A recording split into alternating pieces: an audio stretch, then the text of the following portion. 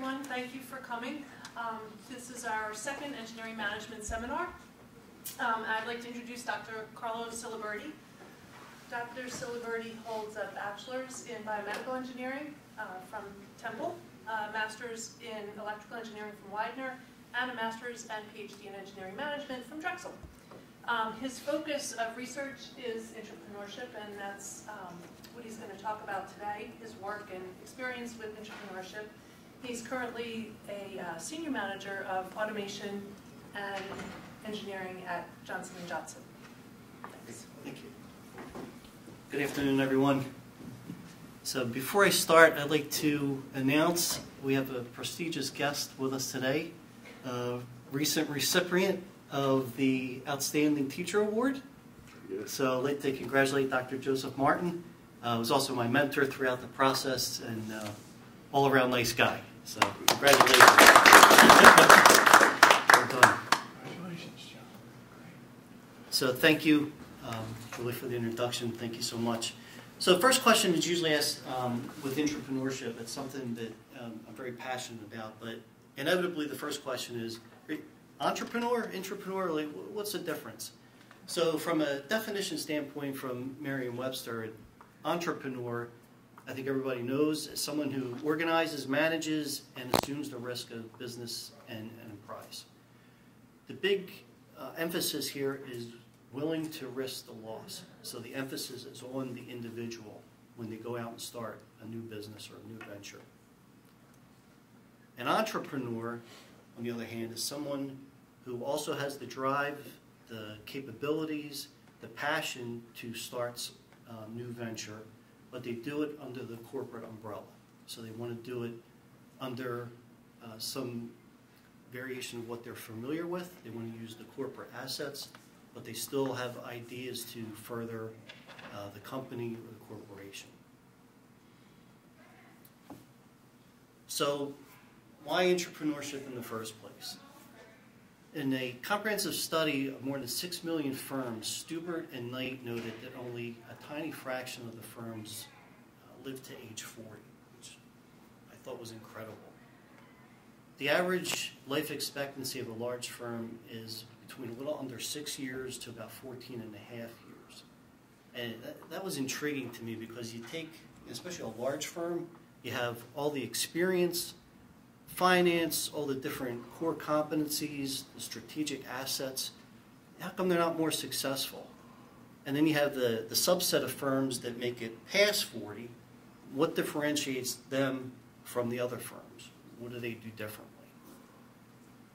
And I, I believe from the research that the difference does point to entrepreneurship and the ability to explore and capitalize on new ventures that are aligned within the corporation. And I think that's, that's very important.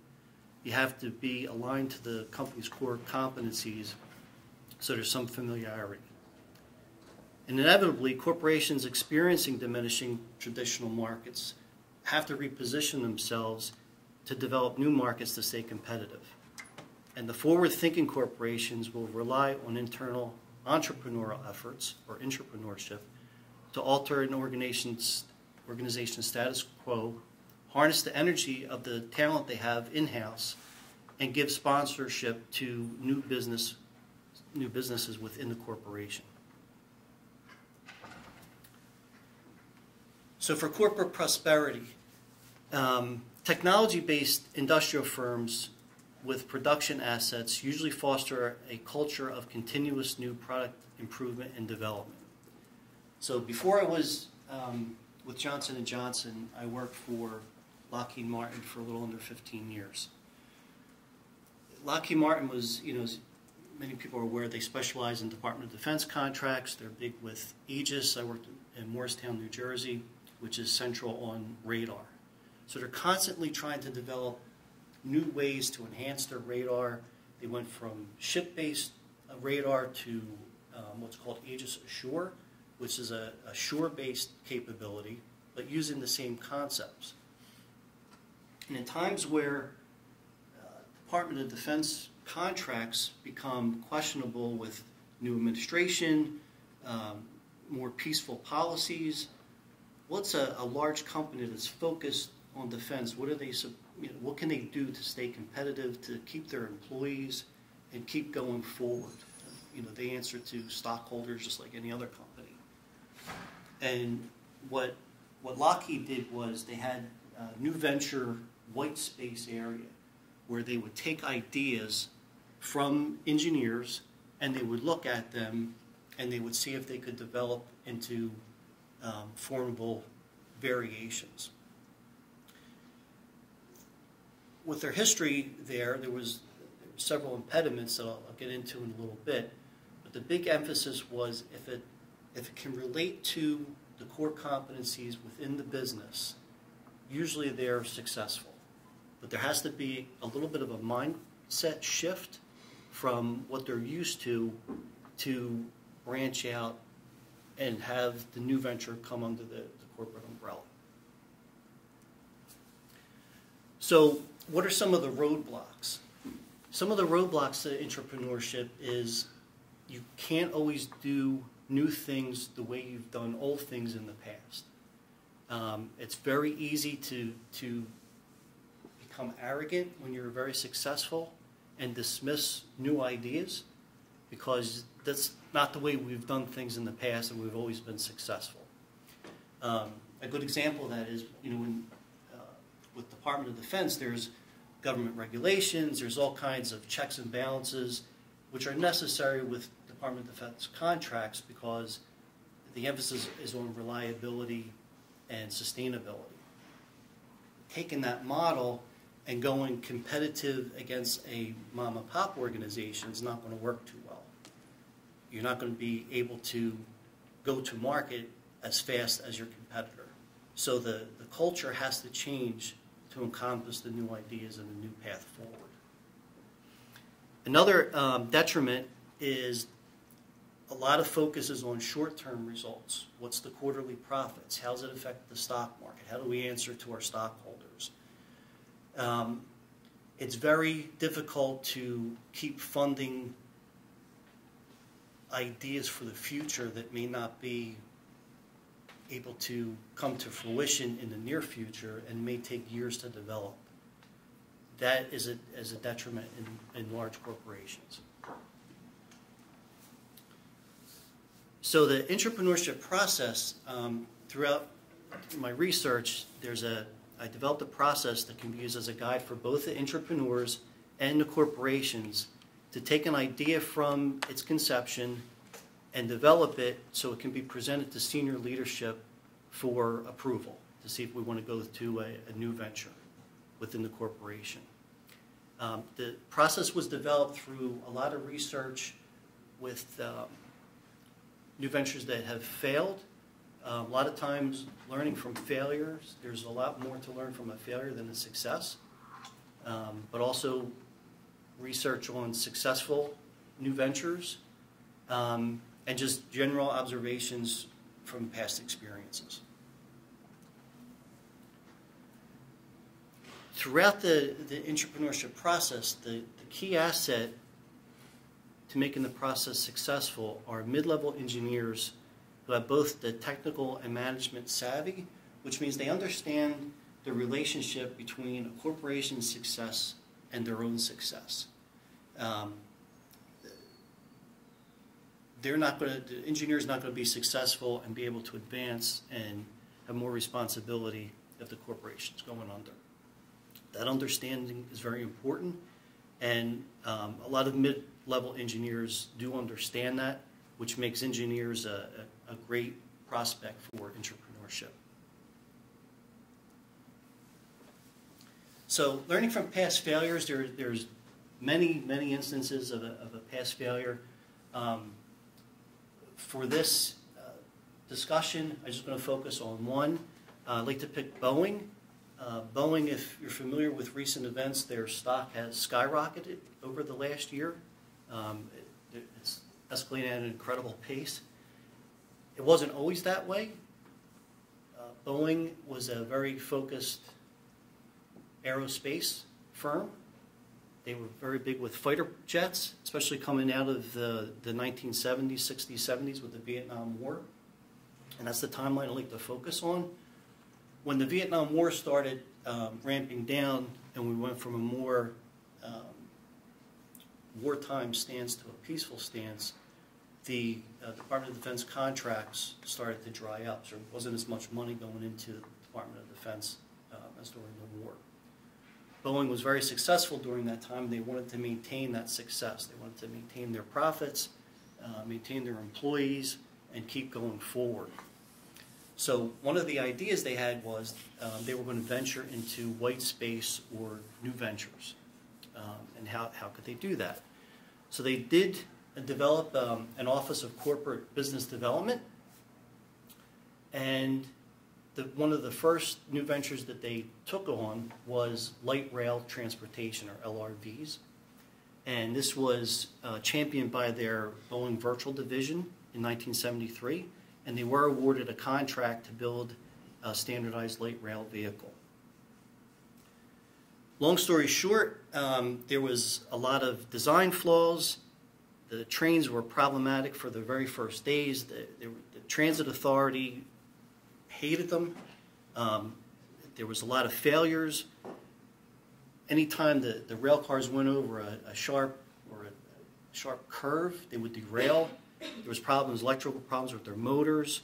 Um, the door system was overly complicated, so the doors would get stuck and passengers would have to exit through emergency egress. Um, all in all, was, it, it was a complete and utter, utter failure. So, you know, looking at this, why did it fail? Certainly, Boeing engineers had the capability to produce rail cars. Um, they had the technology. They can make supersonic planes what happened? Um, factors that added to the failure was improper planning to diversify into an unfamiliar market, economic pressure. The, the pressure was to keep going with their profitability and maintain that pace of the, the Vietnam era, ignoring lessons learned from the past and historical um, aspects to the, to the railcar designs using unproven technology and failure to thoroughly test. Giving all those factors, though, the, the main reason, in, in my opinion, of their failure was the lack of leadership that understood the details and relationships of that specific new venture. Um, the, the mindset was still, you know, we're, we're Boeing, we know what we're doing, we'll just use the model that's made us successful in the past, and we'll just apply it to this and everything should be fine and we'll be as successful as we were with, with fighter jets. So with that mindset, they did rely on their core competencies, but they used their past aerospace and aeronautic engineering practice to design the LRVs. They didn't do their due diligence and research into uh, the mass transit, into their um, intricacies and nuances of the LRVs. Uh, they just kind of forged ahead. And one of the examples of this is the is the rail car doors, which really, in the in the late 70s, was a focal point from the Mass Transit Association. Um, the, the actual doors were designed out of the same materials as the supersonic um, fighter planes. So in essence, the, the doors could withstand supersonic flight, but they couldn't open and close at every stop without failing. So they, they couldn't they couldn't stand up to the daily kicks and shoves from passengers trying to exit quickly, and and that was their downfall. Um, that that arrogance, if you will, of ignoring lessons learned and trying to open minds and understanding a different niche and focusing on what worked in the past is proof that you know this this can't work using the same uh, format and the same goals as we had for, for aerospace. So with that, you know, there, there's numerous new ventures that have been successful and what made them successful. So we, we take some examples from failures, some from successes, and, and go forward. Um, for this, again, for this discussion, the one I picked was IBM. Um, IBM's been in business for over 75 years. They were hugely successful. They passed the 40-year mark, um, and you know their reputation of being an industry leader was was always stellar. Um, the difference between success and failure, though, with, with IBM, again, points to entrepreneurship. And I'll, I'll go into a little bit of detail with that. This is a, a brief history of IBM. They started in 1924. Um, they were, you know, big with uh, corporate computers, uh, big with uh, Department of Defense servers, new languages like Fortran was a development of IBM. Um, they introduced like the floppy disk in the early 70s. They, you know, they were always innovating um, areas related to computers, and that was their that was their niche. They were also, when I did the research, I didn't know this, but um, IBM was responsible for the ATMs for the for the the cash coming out of the machines at the banks. I didn't, I didn't know IBM was, was associated with that, but they developed that as well. So they had all their core competencies was pushed towards computers and, and development. But then what happened in the in the 90s, everything started to slide down when the history of the world went to personal computers. IBM didn't keep up with that. And again, it was a little bit of arrogance that you're not looking at the way the times are changing and embracing those changing times. You're looking at what was done previously and how can we just maintain that path forward and, and just keep going that way and everything will be the same as it was. So with that in the, in the early 90s, IBM reached their first uh, downfall. They lost $8 billion. Um, they lost half of their employees. They went from a staff of 400,000 to 200,000, and they were heading to heading to bankruptcy. They were they were doing terrible. In 2000, they developed um, an entrepreneurship team within IBM to start looking at different ideas. Um,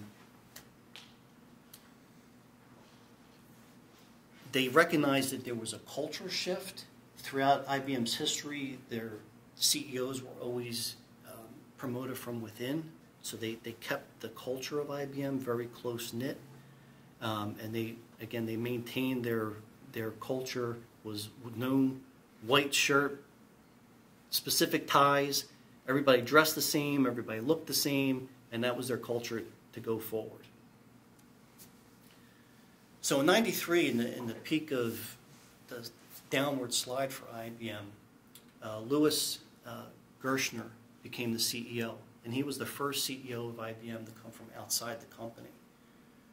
So he came on board, and the, the press like, ridiculed him immediately because it looked like he wasn't doing anything. The, the slide continued, and he really took his time to observe what was going on. He was from outside the company, and his his first job was to, in his mind, was to look and see what's going on, look, absorb the culture, and see where he can make the best improvements.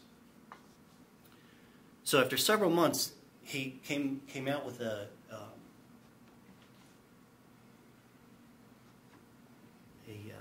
I'm sorry, I lost my train of thought. He, he talked to the press about you know, what his um, assessment was, excuse me, of IBM.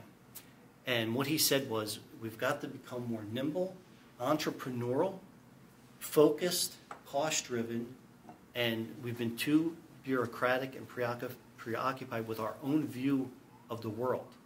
IBM needs a strategic and cultural change. So he recognized through his various contacts within IBM when he took over that they were just out of touch with culture and with what was happening outside of IBM. And he needed to focus the group, all of IBM, back into what was really happening and the advancements happening within the world.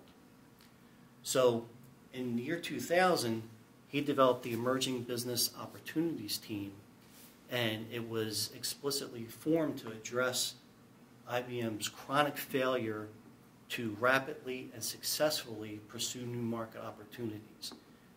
Previously, they were always a day late and a dollar short. By the time they went through all their bureaucratic gates to put forth a new idea, it was already being developed. They were constantly missing the boat. So what they did is they, they, they ramped down, they stripped down the bureaucracy, and they developed an integrated set of processes, incentives, and structure designed to enable IBM employees to address new business opportunities. So they focused on the white space, and with that new group, they became more profitable, and their goal was if they have an idea, they were going to pursue it with the notion that it could become a billion dollar business within five to seven years. That was their goal, and that was their, that's what the, the bar was for any of their new ventures. So the, the Business Opportunities Group became viewed as a group of little startup companies within IBM that developed and nurtured inside the management constructs of the industry's largest information technology company. In essence, they became entrepreneurs within their own company.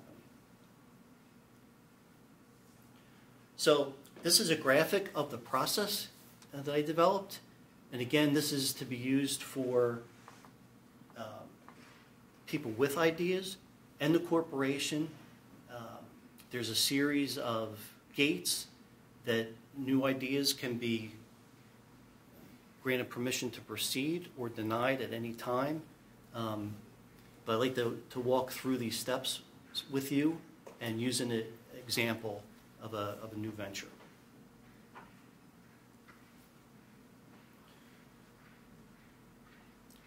So a lot of, between looking at the successes and failures of new ventures, what were some of the common uh, denominators for, for being successful? And it comes down to uh, what's listed as forgetting, borrowing, and learning.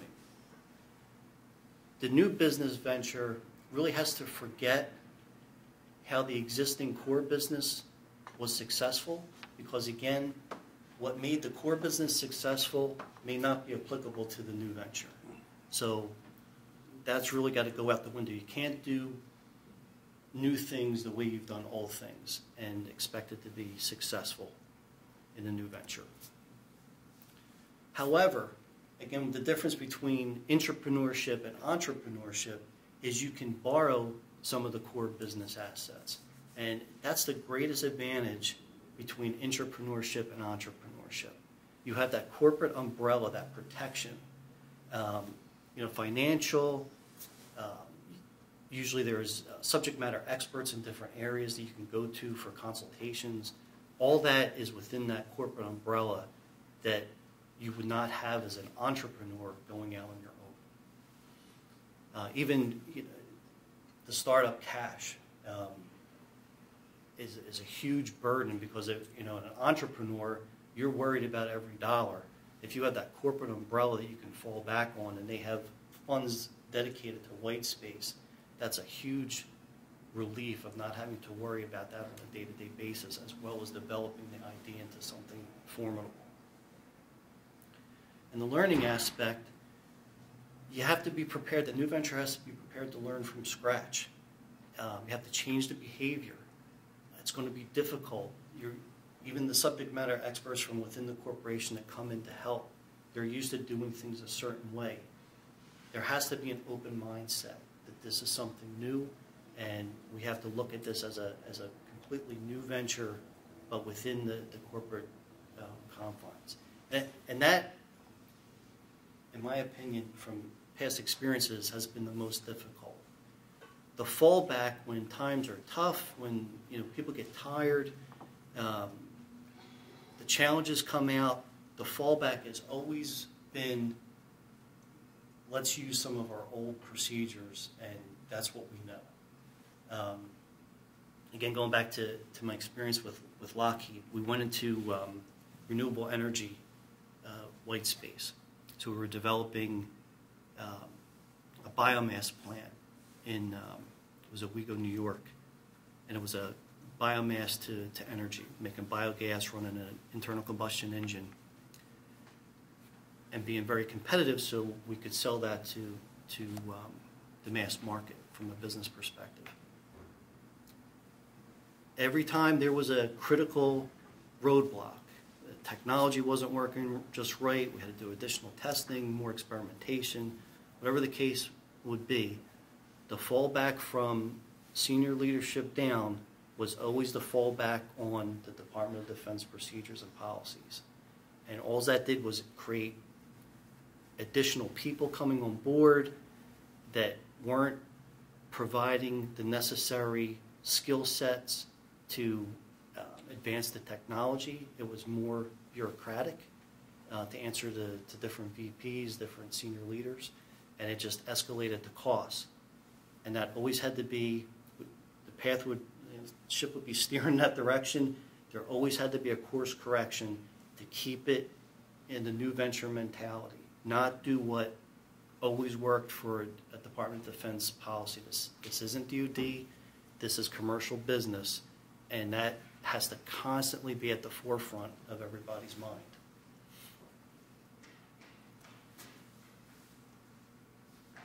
So, for example, walking through the process, um, I'd like to take a look at an idea we're using uh, renewable energy. So, we're going to take an idea, a group of individuals, they're working on, they're working on a new venture, or new white space, and they say, you know, I have a, I have a great idea um, how we could help uh, the electric grid. Um, it's overburdened. Uh, I think we should head into renewable energy. It's a sustainable source. What can we do to, to make that happen? So, how do we narrow that down to, into something that we could present to, to senior leadership? I can't just say, you know, I want to I want to go into renewable energy. It, has got to be focused. It's got to be well thought out. There's a lot of work that has to be involved to, in, for the presentation. So, let's start out where, where we think it's um, needed the most and we have the, the most resources where we can make a strong business case. So in this example, we're going to use the Northern High Plains, which has a, a rich source of, of wind power. So if you look at like satellite pictures, you can see all these acres. Um, right now they're being used for dairy, oil seeds, crops. Um, power is being supplied locally by rural electric associations. Um, and right now they're only supplying the power out in the, in the Midwest by using coal. So what can we do to make that more sustainable and more renewable, better for the environment?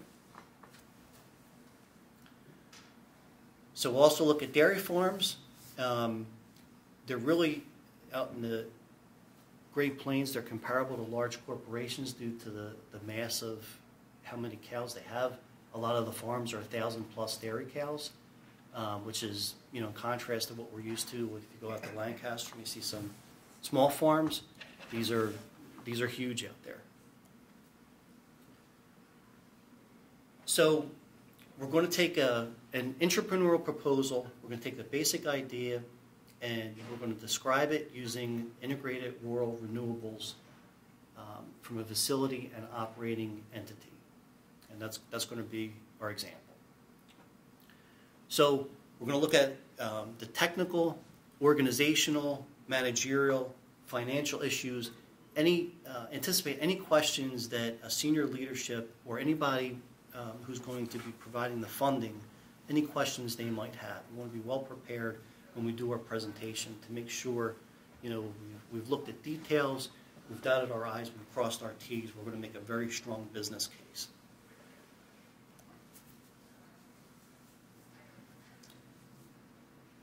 So in this example, what, what can we do aside from providing power to local sources?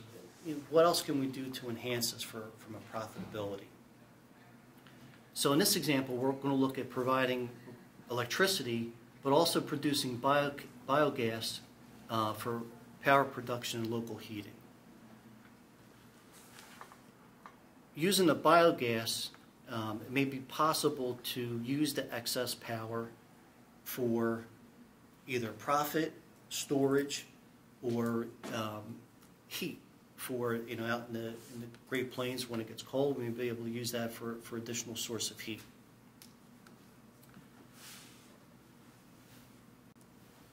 So the first few steps of our, our corporate decision gates is, is the idea strategically aligned with the corporate obs- objectives? Because this is going to be specific for each intrapreneur and each corporation, because they're going to have their own set of criteria. But for this example, we're going to say, yes, the, the corporation is making an effort to go green. They want to expand in the renewable energy market. So the first gate, we're going to be successful in passing. The next gate, does the idea have the potential to expand the corporate portfolio? In this case, yes. If we want to be a market leader in renewable energy, we could greatly expand the portfolio. Could the idea result in the corporation becoming a market leader? Absolutely. We have the, the resources, we have systems engineers, um, we've integrated many solutions with similar concepts in, in the past, we've been very successful. And could the idea result in substantial sustained profits? And again, this is specific to the corporation, but in this particular instance, yes, we believe that full ser- services can be offered for each solution and be hugely successful in the future. So that's our four decision gates that each ID would have to go through. So by passing all the corporate decision gates, the ID is acknowledged by senior leadership and the corporation as being potentially viable, and with that, an analysis team can be officially formed to study the idea in greater detail. So we now have permission from leadership. We think it's a great idea from what you presented. Go ahead and do your due diligence. They agree on a time frame, staff, and they go, go forth and, and do the initial research. The research is very critical to the success of the presentation and for the, the possible new venture. So the feasibility studies are going to encompass variables, factors, and potential benefits to determine if the investment of the corporate resources will yield a desirable result. With our example today, the first analysis involves providing sustainable renewable energy to the rural agricultural districts. The area studies the Great Plains, and we're going to first look at all the natural resources available. So the first one is wind energy. The windiest spots in the United States are off the coast, in the mountains, and straight down the Great Plains. Um, so from a, a, wind energy perspective, uh, the Great Plains are great, and in fact, the top eight states of the most wind power are within the Great, uh, Great Plains. Excuse me.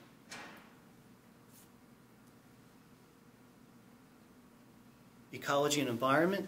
So the Great Plains stretch across 10 states. Uh, there's the map, the dark mustard area the, is the Great Plains. There's 376 counties, about a half a million square miles of land and only about 3% of the country's population. So it's very sparse, very open. Some of what's produced in the Great Plains is little over 300 million annual tons of wheat, oats, barley, a lot of agriculture, produce approximately a quarter of the world's total production of grains. And they're also the leader in the following feedstocks um, from vegetative, animal, algae, and woody biomass. So we're going to, during this feasibility study, we're going to deep dive into, into what that means, gather some data, because in, inevitably there's going to be some questions about the specific biomass. And we're going to look to see, of what we study, what is the most viable solution to, to proceed with this new venture. So first we'll look at the, the vegetative feedstock. So we'll look at corn and wheat. When, uh, when there's a harvest, the residues such as the wheat straw or the corn stover are left in the field. really only a fraction of that can be used since a lot of that, the waste is used to replenish the soil and keep the soil from eroding. So there's a percentage that could be used for, for waste energy. Um, looking at the potential energy benefits from the corn and wheat, the corn stover contains a little over uh, 5,000 BTU per pounds wet, or a little over 7,000 dry. Um, wheat is a little bit less energy dense than corn, and there's also more tons of corn that can be collected per acre uh, than wheat straw. So this is going to go into our, our feasibility study. Then the cost to collect the waste, uh, we have to analyze that. Uh, through research, it costs about 20 to $40 a ton for wheat. Um, I'm sorry, for, for corn, and about $50 a ton for wheat. So that's going to feed into our financial model. In addition to the, the corn and the wheat, let's look at energy crops. Um, switchgrass is a dominant plant in the Great Plains. Any types of marginal lands that are not specifically used for agriculture, we could use for an energy crop. So, again, we, cultivate and we harvest um, switchgrass, what, what would it take? What are the finances? What's the energy we can get from that switchgrass?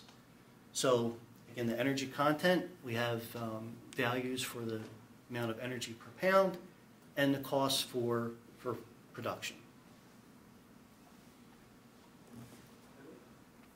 Same with proceeding with oilseed. We want to look at all the different um, vegetative feedstocks within the Great Plains. This will help us form a comprehensive decision. Uh, transesterification is a process where uh, convert uh, feedstocks to biodiesel. Um, the net energy from, from using transesterification, it yields three times more of the energy in combustion than it takes to produce it, so it's very economical in, um, as a, as a uh, renewable energy. So we looked at we looked at the vegetation in the Great Plains. We have a, a, number of different aspects and data points that we can use to make our, our decisions. Um, next, we'll go for from vegetation to animal. What's our animal feedstock? Uh, with the dairy farms, there's a lot of areas where manure is collected. Um, the cows are confi confined and also on the feeding sites. And number wise, um, a 1,500 pound cow produces about 125 pounds of manure daily, which now I understand why there's less population out there. Um, so there, there's a lot of, lot of waste that can, can be used as a feedstock. The cow populations by Great Plains State is listed um, in this table. There's a total of almost a million and a half dairy cows that are in the Great Plains. Um, looking at, on average, each cow produces the net equivalent of about 40 cubic feet of biogas.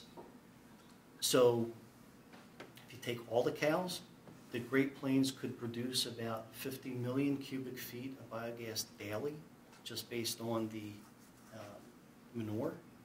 And that's equivalent to about 100 uh, gigawatts of electricity. And I just, um, I just saw Back to the Future the other day, so I know this could feed the, the flux capacitor and the DeLorean. So it's a, it's a good source of, good source of energy. Um, how could we use that, that feedstock? So anaerobic digestion is one way we take um, organic substrate, decompose it, um, and the, the, net production is, is biogas. Um, it's a biochemical reaction. There's four stages. Um, it's, it's used already. Um, it's, a, it's a viable technology uh, and definitely something we should consider for producing gas. There's two temperature ranges for the, uh, for the bacteria in an AD facility, um, 98 for um, mesophilic and 130 degrees for the thermophilic range. Again, we're, we're talking about the Great Plains, so we want to look at that temperature variability with that, um, colder environments, with the uh, less variation, it would be better to go with mesophilic because it's a, it's a lower temperature.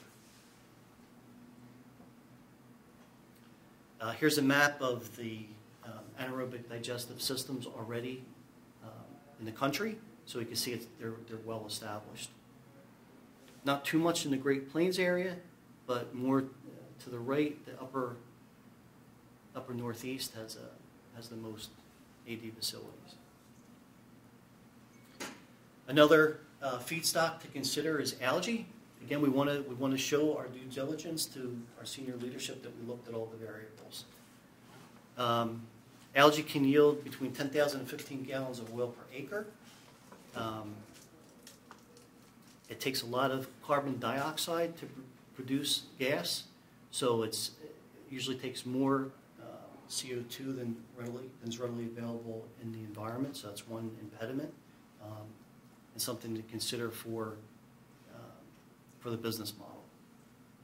You know, how do we get the CO2, the extra CO2 that we need? Uh, woody biomass.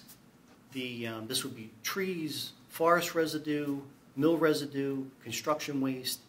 Um, there's a listing again of all the, the states within the Great Plains, um, how much woody biomass um, is accounted for, and what, what we could use for renewable energy. So, taking all the feedstock considerations, doing our due diligence, um, what's the conclusion for, for this feasibility study? So, the conclusion for, for this particular one is that if we use wind power and dairy cow manure, since they're so prevalent and sustainable in that Great Plains region, we can use them uh, and we can distribute those at low intensity to the different um, rural electric associations.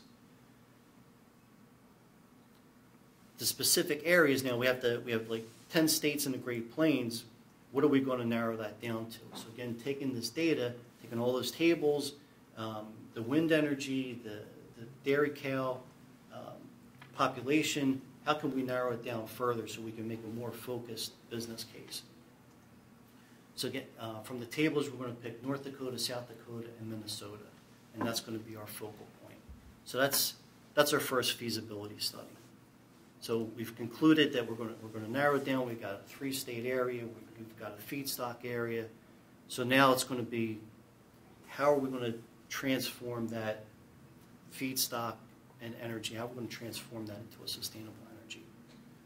So the second study is going to be on how are we're going to reach potential customers. How, how are we going to get that power out there? So REAs are Rural Electrification Associations. They're our ideal candidates um, since they're the ones that provide rural, residential, and industrial agriculture power. Um, and they also provide process fuels for local and export sales.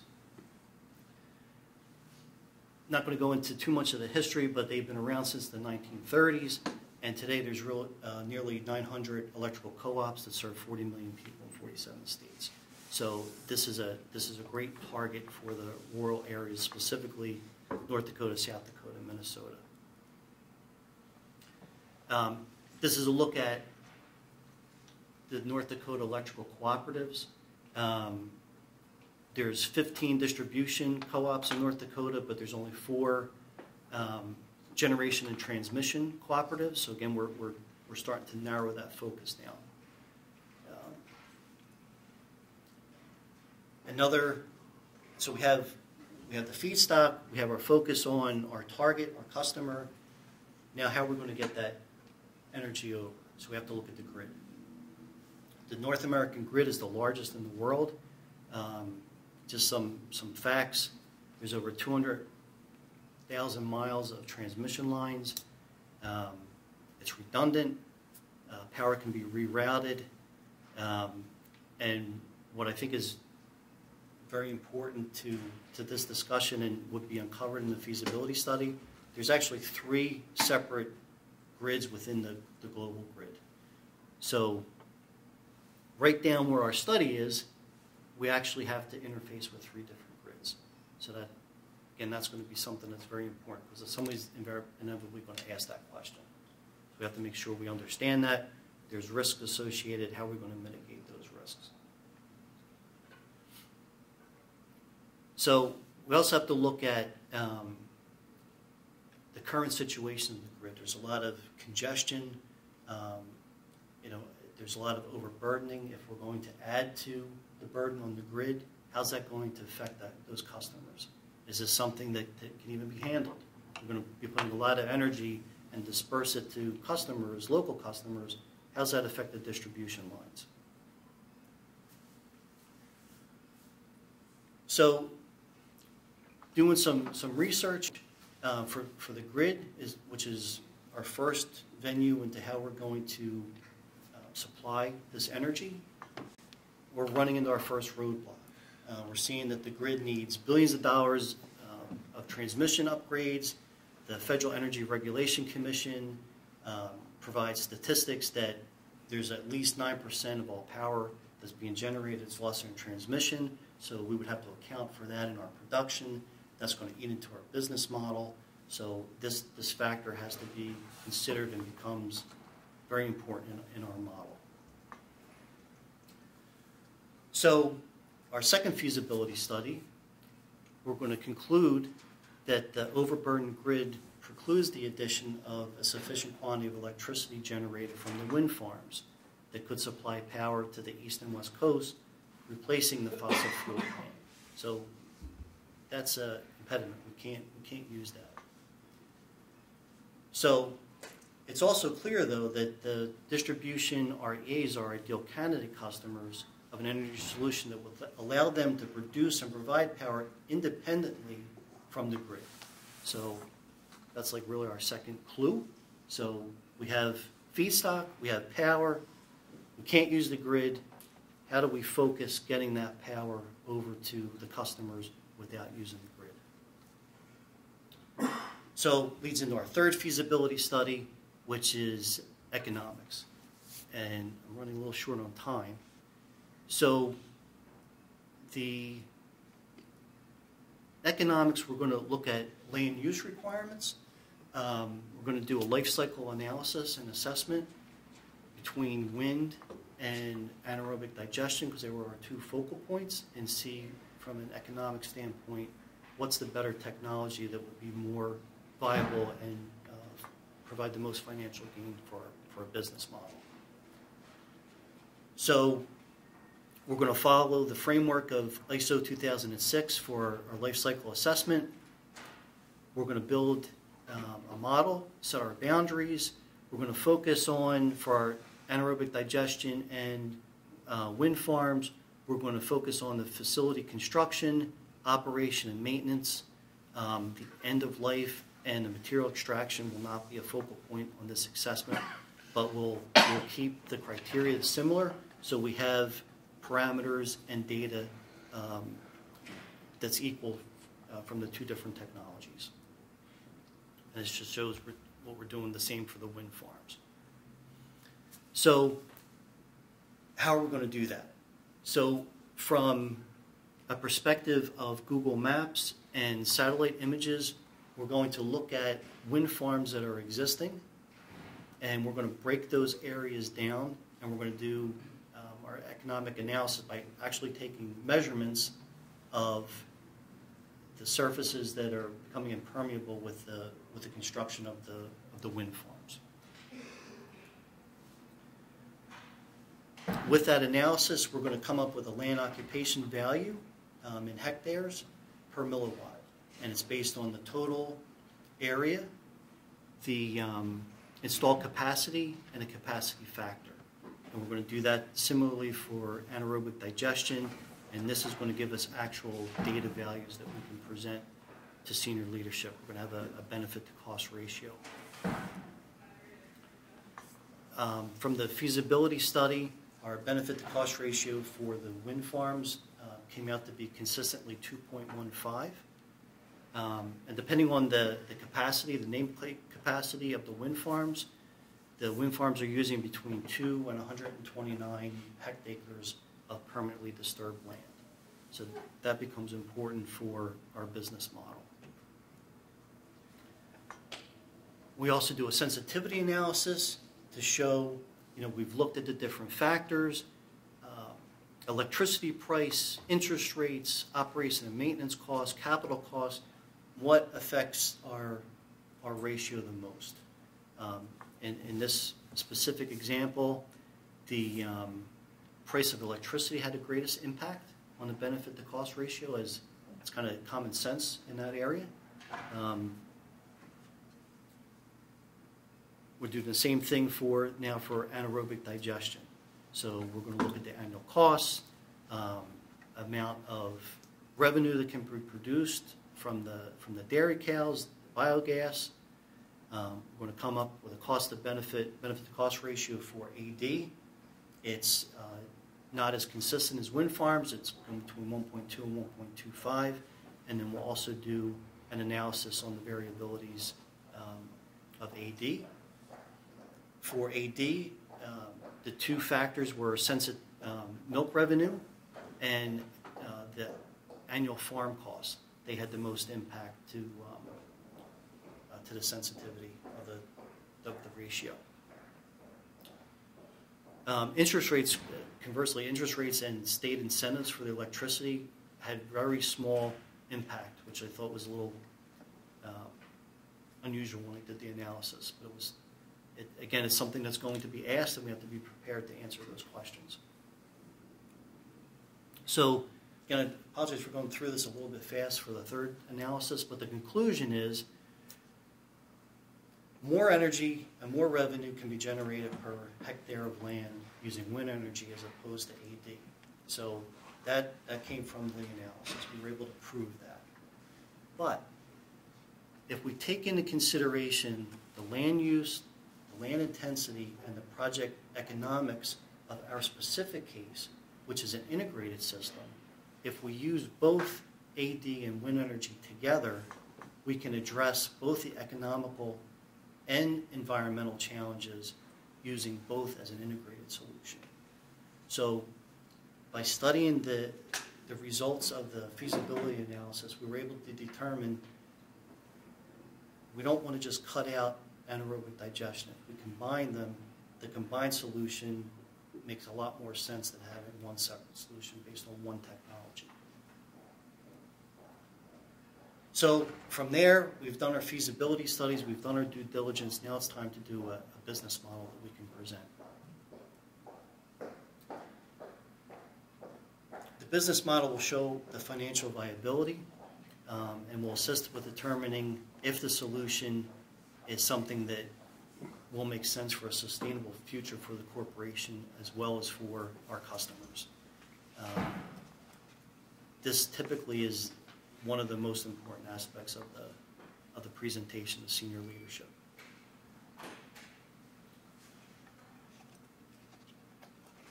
So currently, there's, there's 91 dairy farms throughout North Dakota. Um, Because the dairy farm size, sizes really vary drastically, the business model was developed uh, and designed for flexibility, so you can plug in the number of, of cows uh, in the dairy farm. um, And it, you can use it for any instance, if it's a large farm, medium farm, or small farm. So the first step of our, of our business model was to determine the power requirements for the anaerobic digester that we're going to have to construct on the, on the farm. Um, going through all the, all the parts of the AD system, we came out that we're going to need about 2,600 megawatt hours per year of electricity. Second step is, okay, what size turbine do we need to accomplish that? So a 1.5 megawatt turbine, uh, nameplate capacity, we can generate about 5,000 megawatt hours per year. So that's in tune with what we need. Step three, what's our total capital cost? So if we use the cost for the AD system, the turbine, um, we came up with, we're going to need about $3.3 million.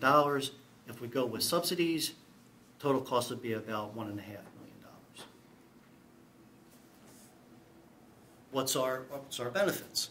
So electricity savings, we're looking at substantial savings, substantial revenue, the biogas production revenue over the course of the year, and carbon credits from uh, the AD system and, and wind energy, the total payback would be within five years, which turns out to be a very good investment.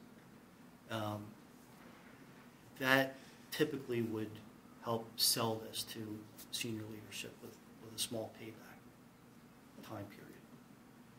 So, again, we take the model. The, mo- it's very important that the model is tailorable because when you're reaching out to different customers, you're going to have different uh, variabilities, different sizes. So you want to make the, the model um, variable enough that you could plug in uh, different variables and, and get the results that you need.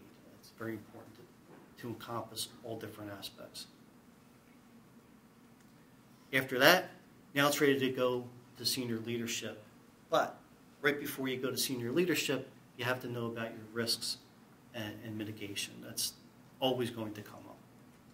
So the best thing to do before you go to the leadership is do a SWOT analysis, uh, strengths, weaknesses, um, threats, and prepare for any questions that you know going to separate you from the competition. So, what are the strengths of, of this new venture? So, we have our corporate research and development, we have our skill sets, we have a diversified business, um, and we have integration of products and services. That's definitely our strengths. What's our opportunities? Um, we're increasing our demand to expand our portfolio, expansion of renewable energy portfolio, our go green political pressures would be abated. Um, definitely opportunities for the corporation. Weaknesses, we have this Department of Defense mentality. We have to overcome that. Um, large project focus. These are going to be smaller projects. We have to go from multi-billion dollar projects to small million dollar projects. Um, another weakness is we have expensive overhead, so we're going to have to restructure ourselves. Threats, there's always threats from competition, small mom, mom and pop renewable energy uh, companies that are rising up, and slowing growth of world economy.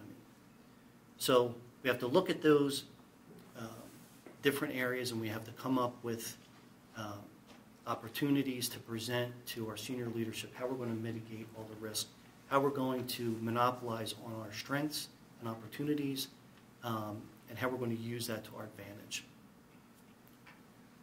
Now we're ready to go. So we're going to present to senior leadership. We're going to use our business model, our feasibility studies, our risks and mitigations, and we're going to do our presentation and ask for our new venture. So senior leadership is going to go through their gating policy, and they're going to decide, is this, does this have the potential to go forward and be a, be a new venture? So while the team is working, if the, we get the green, the initial green light, a new venture white space area will be formed. The, the team focuses on the design uh, and focuses on going forward. Meanwhile, there's periodic meetings. It's very important for corporate leadership to stay involved. Um, they'll set a timeline where the expectations for um, production, profitability, going to market, that'll all be established. And it's very important that everybody remains on the same page and kept informed of what's going along the way. Um, there may be areas when you start doing the, uh, when the team's formed, you hit a, a roadblock and you determine we didn't think of this or this just was recently discovered and it makes sense not to go forward with the new venture. That saves the company maybe three years worth of wasted energy and profits that could be focused in other areas. But by having that group dynamic where you're having you know outside um, eyes that are not myopically focused uh, on the, the project. Uh, you have different inputs and you can proceed and decide as a team whether you should keep going or not. So in conclusion, This process provides a guide for intrapreneurship from both uh, corporations and engineers. Take an idea from conception to corporate senior leadership for approval so you can form a new venture. Um, As an example, we used the integrated renewable energy solution as, a, as an example to proceed and analyze. During the analysis, we went through the corporate gates to ensure that we maintain alignment with the corporation. We showed about the feasibility studies, um, how important it is to do your due diligence and really look at all the different areas. Um, we studied the market analysis on the end customer, did a life cycle assessment on the land use and how that's going to impact renewable energy. All that information was used to create a business model. Uh, we determined the financial payback. And then we also did a risk mitigation using the SWOT analysis uh, to resolve uncertainty.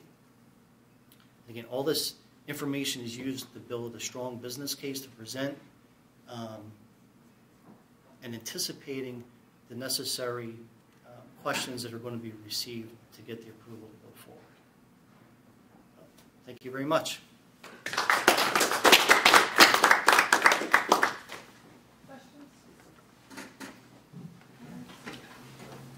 Yes, sir. I know you worked with uh, Dr. Martin on this. Was this done also in conjunction with uh, Johnson and Johnson? No, no, this was. This is an interesting study. oh, thank you. Hey, just in time. Yeah. I'd like to think you guys really stayed because of the presentation, but I think having the food at the end was a, It worked out in the end, right? Thank you. Thank you. Do you intend on uh, on taking this any further? Could- Patent pending. Yep, have the application in for the, for the patent, for the process, the utility patent, and then uh, perhaps a class in engineering You know, I- management. you know, I think about energy and I go back to uh, uh, maybe like 15 years ago where there used, to- especially on the west coast, there used to be a lot of brownouts. And, and now you're, you're not seeing that anymore. And I heard that one of the reasons why is because, uh, uh, because of alternate sources of energy. Like, I, I'm seeing a lot of it now in my neighborhood. Hmm. There, uh, a lot of houses are starting to get solar Solar, panels yeah, sure. in. And in, in fact, uh, one of my neighbors has it, and he says that he, he sometimes overproduces and that feeds into the electrical grid. Right, right. And I understand out in California, I heard, haven't been out there in a while, but a lot of houses have it out there. Mm-hmm. And perhaps that's the reason why there's not many brownouts anymore, because that's a possible solution. And I guess as we venture forward, there's not gonna be many more power plants, number one. Number two, it's not environmentally safe. I mean, is this, is this the way of the future? We're gonna be seeing more and more? I'd like to think so. I think the way the, the structure of the grid, I think unless there's going to be an enormous amount of money towards infrastructure, um, we definitely have to go the way of renewable energy. It's just, the, the grid is so overburdened that, um, to your point, you can't just build new power plants Yeah. and, and load the grid any further. It just it won't take it. Yeah, and I, and I believe, you know, I'd like to see like a brand-new development where it's sustained by just solar and wind. And, and I think that that's feasible, but I don't know if that ever would be plausible where they would just, uh, have that. I mean, you know, you'll, you'll see new development come up and then on the houses, they'll, they'll, in, in the development, there'll be wind energy and, and every house will have solar panels. I mean, maybe we'll see that in the foreseeable Yeah, that'd be pretty cool. Awesome. Great presentation, Oh. that was very enjoyable. Oh, thank you. I Appreciate it. Thank you very much. It's a fun project. Yeah, it sounds like it. Thank you. And nice to know Oh, that thank you. our animals, the manure from animals can produce the energy. It's a straight poop. Yeah,